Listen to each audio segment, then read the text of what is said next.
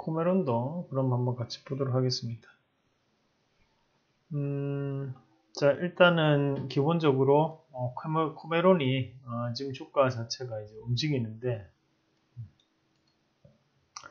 어, 이런 것들은 일단 기본적으로 여기서 이제 많은 거래가 이제 이루어진다. 그죠?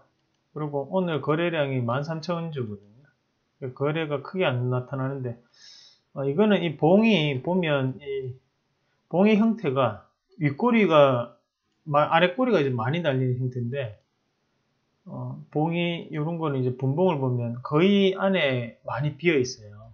비어 있다는 것은 거래량이 얼마 안 된다는 얘기예요. 꾸준하게 많은 거래가 이루어지는 그런 기업은 아니다라는 거고 얼마 전에 뭐 코메론 불성실 공시 법인으로 지정이 되기도 했던 6월달에 지정이 6월달에 되고 난 다음에 21일 날 지정됐으니 그 이후로 계속 빠져서 내려왔죠. 어, 주식수가 900만 주인데 거기에 13,000주가 거래가 되고 있고 어, 거기에서 우리가 안에 내용을 잠깐 보면 음, 어, 대주주가 38%고 거기에 IB 투자가 지금 12.9%거든요. 그러니까 요것만 해도 50% 넘잖아요. 그죠? 거기에 한 55% 정도는 지금 묶여 있다는 거죠. 그럼 900만 주, 450만 주죠. 450만 주에 어, 또뭐 임원급 뭐 이런 사람 다 합치면 한 400만 주, 400만 주 채 안 되는 물량이 돌아다니다 보니까 거래량이 크게 나오지 않습니다. 그러면 이런 것들은 거래량, 이런 주가 추이가 어, 거래량에 대한 부분이 상당히 중요한데 자, 일단은 기본적으로 그러면 바닥에서 한번 어, 치고 올렸던 여기 요 거래량이 엄청나게 중요하다는 얘기죠. 그러면 여기 그림을 한번 그렇지 그려보면 어, 주가가 이제 이렇게 움직이겠죠. 어, 주가가 뭐 이렇게 뭐 움직여 움직이고 난 다음에 한번 크게 죽였다가 다시 올렸다가 다시 한 번 더 들어보고 맞죠? 여기서 또 한 번 죽인다 그죠? 죽이고 다시 한 번 더 올렸는데 여기서 보내지 않고 보내지 않고 한번 굽었다가 굽었다가 다시 한번 올라왔습니다.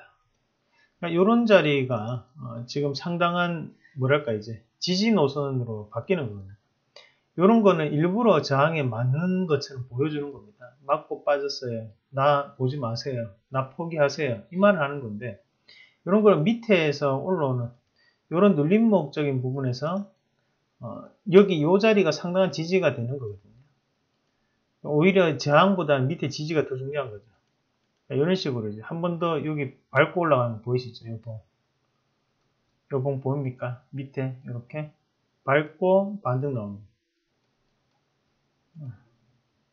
봉을 밟고 이렇게 이렇게 이렇게 이렇게 들리잖아요. 그럼 요게 지금 요 자리에서부터 시작을 해서 어, 주가 자체가 이제 베팅이 이렇게 되고 그러니까 약 3배 올랐다 그죠? 12,000원대 자, 이것도 1봉으로 넘어와서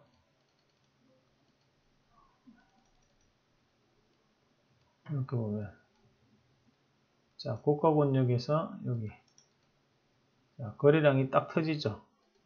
이 거래량이 결국에는 뭡니까? 이 거래량이 고가 권역에서 터진 거래량이에요. 그러니까 일부의 물량이 빠져나왔다고 보면 되고 밑에는 대부분의 평균적인 단가가 4,000, 4,400원 부분. 그러니까 여기 얘네들은 여기 원봉, 다음에 쌍봉 형태를 띄고 난 다음에 주가가 어떻게 돼요? 여기서도 마찬가지로 이익 실현 물량이라고 봐야 되죠. 이렇게. 자, 보이시죠? 우리가 월봉만 보고도 이렇게 일봉상의 움직임을 알 수 있어야 됩니다. 그 다음에 지금 주가가 여기서부터 이렇게 빠져내서 내려오는 흐름이거든요. 그러니까 이런 것들은 이 주가가 이렇게 밑에서 잡혀 있는 건 뭐라고 했어요? 결국에는 어, 요게 요게 이후에 이후에 지금 시세를 이런 식으로 냈는데 위에는 저항이지만 이게 조정 패턴 안에 지금 들어와 있는 거거든요. 그럼 12,000원에서 절반은 6,000원이잖아요. 그러니까 이런 가격대까지 열어놓고 있어야 돼요. 사실. 지금 보면 대부분의 거래가 아직까지 하단에 머물러 있다는 것은 어, 이것을 여기에서 이 가격대에서 이 기업이 돌아서기가 생각보다 힘들 것이다. 어, 뭐 코메론 뭔가 딱 떠오르는 게 없잖아요. 그리고 최근에 이제 불성실 공시법인으로 지정이 된 게 또 6월 달이었고 이런 거를 감안한다 투자 심리가 상당 부분 위축되어 있을 확률이 높다. 예, 저는 오히려 6천원대 이탈이 나올 확률이 높다고 보거든요. 예, 여기서 일시적인 반등은 가능하지만 결국 흐름적인 부분을 봤을 때는 6천원 밑으로 한번 내려올 것이다. 어, 그러나 그 6천원 밑에서 다시 한번 더 잡아주는 급락구 천 양봉이 형성될 수 있는데 그런 봉들을 조금 더 한번 지켜보는 것이 맞지 않냐. 지금은 일봉을 보더라도 앞에서 지지를 받았다. 이 자리 보이십니까?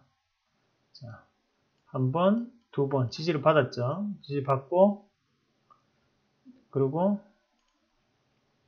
여기에서도 세 번, 네 번. 근데 이게 이 자리가 중요하다는 게 자 보세요. 이 봉을 보세요.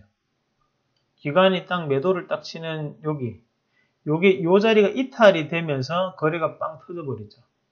그러니까 여기 요 자리가 7,200원짜리 의미가 있던 자리였고 그 7,200원짜리를 돌파해서 이런 식으로 이제 움직였는데 실질적으로 지금 다시 한 번 더 그 가격대까지 어, 각 자체가 여기에서 이렇게 넘어가지 못하고 요렇게 여기서 음, 자 그림을 다시 그려볼게요.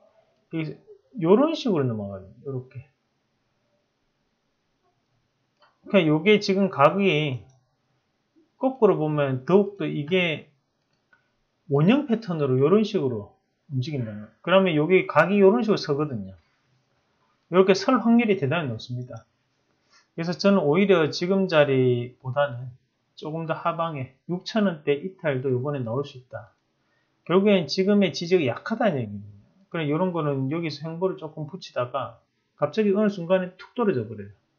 두두두둑 떨어지기 때문에 지금 이 종목에 대해서는 접근하지 말자. 관망으로 유지를 하되 어, 가격대는 앞서 얘기했던 6천원대 이탈이 되면 그때 다시 한 번 더 공략을 해보는 전략 어, 그렇게 말씀을 드리도록 하겠습니다.